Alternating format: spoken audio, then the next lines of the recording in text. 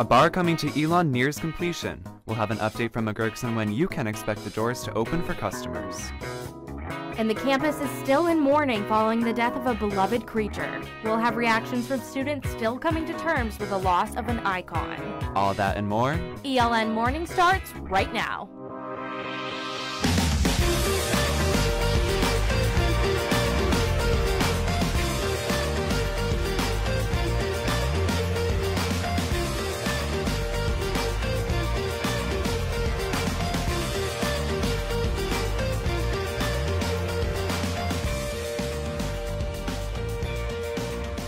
Good morning, and thank you for joining us for the first ELN morning of the 2018-2019 school year. I'm Brian Ray. And I'm Megan Lynn.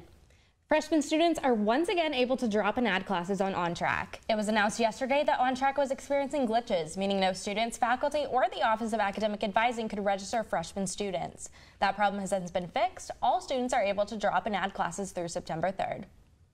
After planning to open in June, McGurk's Elon is now only days away from opening. Our Jack Norcross has the latest. It's been 13 months since the West End Terrace closed their doors, but now a new bar and grill is coming to town. With locations in Pennsylvania and Maryland, the new location will be their first on a college campus. General Manager of McGurk's Elon Samira Kawazmi says she plans on keeping her location um, appealing to college students on a budget.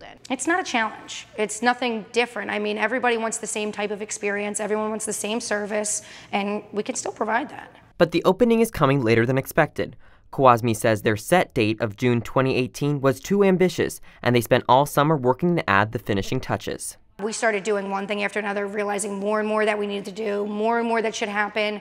Um, we got more familiar with the area in Burlington, along with Elon, and more of what was needed here, that we realized that we you know, we had to pull out all the stops.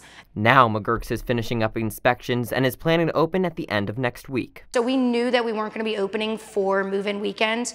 Um, that would take away our opportunity to employ so many students here. Um, so everybody moved in. All of this week we've been doing orientation and training and inspections, and it's looking like as long as everything goes through and we, you know, put the last couple touches on it, we should be looking at within you know the next week and a half. Despite the previous occupant's sudden shutdown, Kawazmi says she's not worried. And I don't know the scenario of how they closed or what went down, um, but on the same note, like I also know like we're McGurks. We are who we are. Jack Norcross, ELN Morning. Elsewhere on campus, the community is missing a friendly face. After eight years of interrupting picnics, dates, and quiet reading by the lake, an Elon icon is dead. Our Rachel Ellis tells us more about the life of the animal who was a friend to some, but an enemy to others.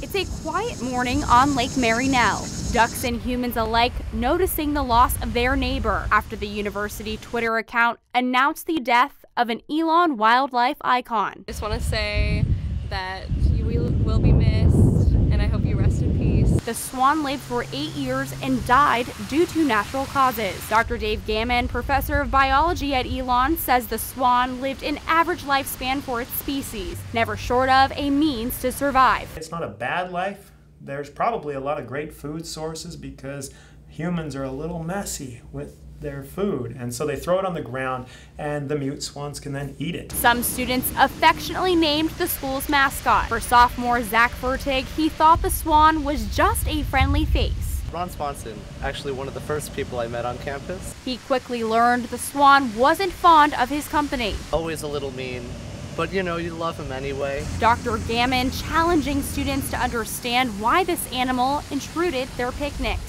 we're trained to think that humans are the be all end all. We don't realize we live in their world as much as them living in our world. And at the end of the day, mute swans are known for looking pretty and acting nasty. Celebrating the life of the fearless Lake Mary Nell leader, Rachel Ellis, ELN Morning. Gammon says if the university plans on bringing another swan to campus, there is a trade-off. While he says they can be beautiful from a distance and on promotional material, there will be students who get attacked. The university has not commented on whether or not it plans to do that. President Trump will be in Charlotte tomorrow headlining a fundraising event. The luncheon at Carmel Country Club will be a private event for Republican congressional candidates Mark Harris and Ted Budd. Trump will also make a public appearance around 2 p.m. when he will sign an executive order on retirement security. School is back, but summer's still in session. After the break, I'll teach you how to protect your skin. And how much more humidity are we going to have? I'll let you know with the Phoenix 5-day forecast right after the break. You know, Brian, I was really enjoying this heat when it was summer and I could be out by the pool, but walking the class now it's a little oh, bit much. Oh yeah, now it's too much. I take off my backpack and I'm afraid I have sweat stains all down my back. yeah. We have Selena Guevara out on the out under the oaks and hopefully she has some good news for us. Selena. Thanks guys. Out here it's about 80 degrees outside, but it feels like 85 and that's gonna be because of the humidity.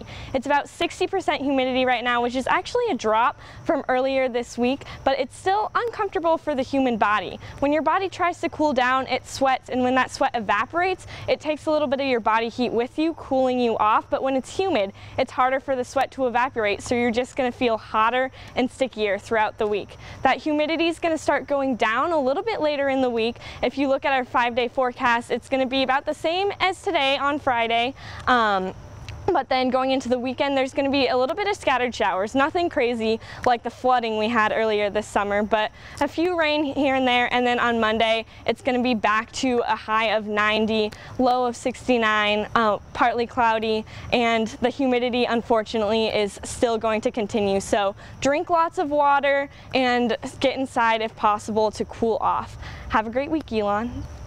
Thanks, Selena. While you're enjoying the nice weather we've been having, don't forget to protect your skin. The American Cancer Society says skin cancer is the most common form of cancer and your best line of defense is sunscreen. I have a couple tips for you here. Brian, what kind of SPF do you normally wear? I usually wear 15. Most people think the higher the number, the better, but that's mm -hmm. not necessarily true. What you want to do is know how long it takes you to burn without sunscreen, multiply that by the SPF, and that's how long you can stay out. Oh, interesting. So if it only took me six minutes to burn, I could go outside for about an hour with 10 mm. on. Wow, And then you want to reapply. Also, if you're like me, your face is a little more sensitive to sunscreen, there are mm -hmm. some other options for you.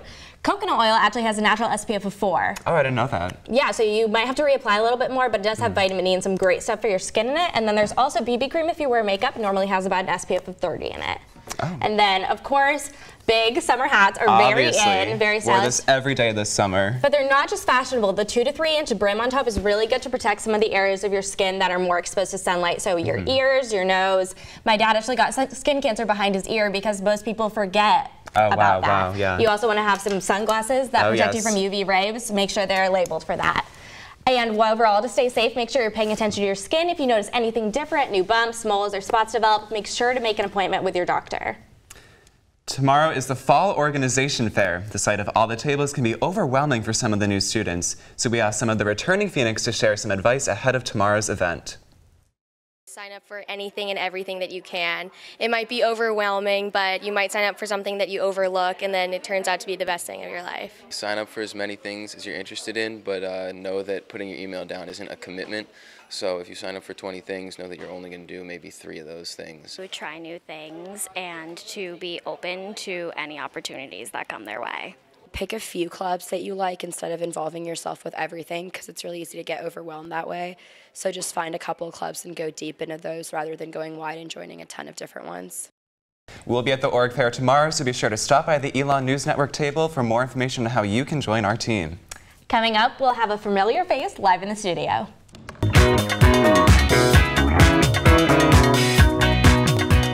Welcome back. We are joined live in the studio with senior musician Trey McMichael. Trey, thanks for joining us. Thanks for having me. Yeah, so we heard that you had an exciting summer. Tell us what yeah. happened. So I competed in the National Hall Johnson African American Spirituals competition, um, which is a part of the National Association of Teachers of Singing, which is the world's largest professional organization of teachers of singing or voice teachers. Um, and so I was able to go to Las Vegas actually as a national semifinalist and then compete as a finalist and then win the entire competition. Oh, so wow. it's really cool. That's awesome. Yeah, yeah we have the clip right here. and before we let us sing you out, we want to thank you for being here. And what are you going to be singing for us today? So I'm going to be singing Latch Acoustic by Sam Smith. Awesome. All right, we're excited to hear it. Cool. Thank you. And for all the stories from today and more, visit our website at elonnewsnetwork.com. And make sure to follow us on social media at Elon News Network. Have a great day, Elon. Trey, take it away.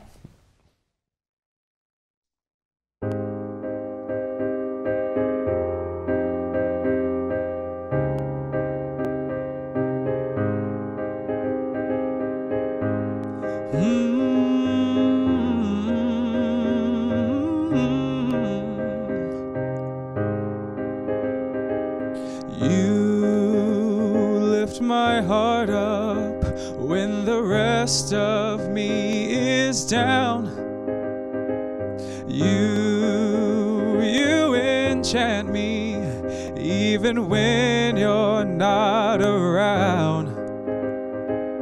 If there are boundaries, I will try to knock them down. I'm latching on, babe. Now I know what I have found. I feel we're close enough. Could I lock in your load? I feel we're close enough.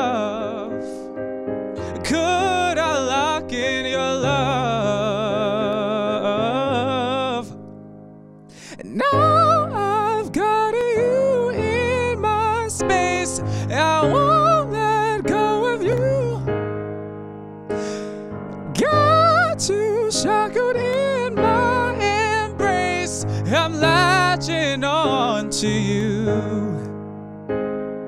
I'm so encaptured, got you wrapped up in your touch.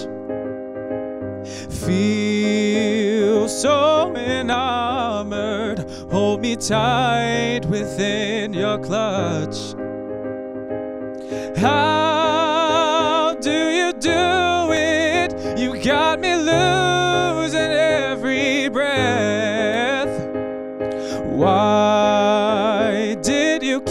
kiss me and make my heart beat out my chest?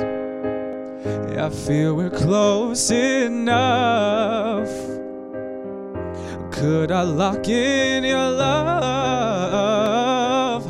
I feel we're close enough.